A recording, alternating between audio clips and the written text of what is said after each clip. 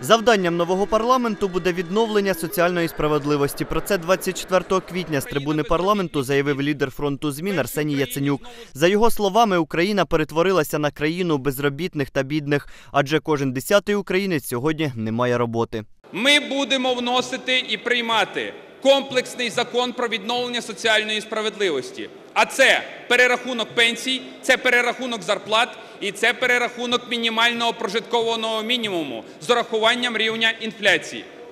У нас завдання позбавити всіх чиновників і позбавити всіх народних депутатів України пільг і привілеїв. За словами Яценюка, демократична більшість прийме низку законів, що передбачатимуть реформи в системі освіти, медицини, у правоохоронній системі і в незалежності суддей. Наша одна з основних реформ це реформа правоохоронної судової системи. Це судді, які служать народу, а не служать президенту Януковичу. І це буде зроблено наступним демократичним парламентом. В новому складі парламенту також буде проголосований закон про порядок імпічменту президента. За словами Арсенія Яценюка, країні необхідно повернути парламентаризм і ввести кримінальну відповідальність для народних депутатів за голосування чужими картками. В країні потрібно відновити парламент, а не відділ з народних депутатів України, який повністю підкоряється адміністрації президента Януковича.